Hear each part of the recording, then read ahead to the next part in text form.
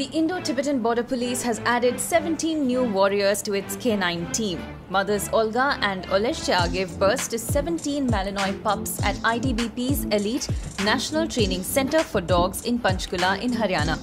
Olga and Olesya are both sisters. Both are 5 years old, and the father too is a serving dog named Kala. Both sisters and the father have tenure in left wing extremism hit Chhattisgarh, where ITBP is deployed, the ITBP said. The ITBP officials claimed that Olesya and Olga have a track record of safeguarding the ITBP troops by sanitizing road opening party and acting as a deterrent to ambushes. Both have detected IEDs several times in their career, thereby saving numerous lives in various operations. Gala, the father of the new puppies, is a tough dog who also loyally escorted the ITBP troops and never failed, the ITBP said.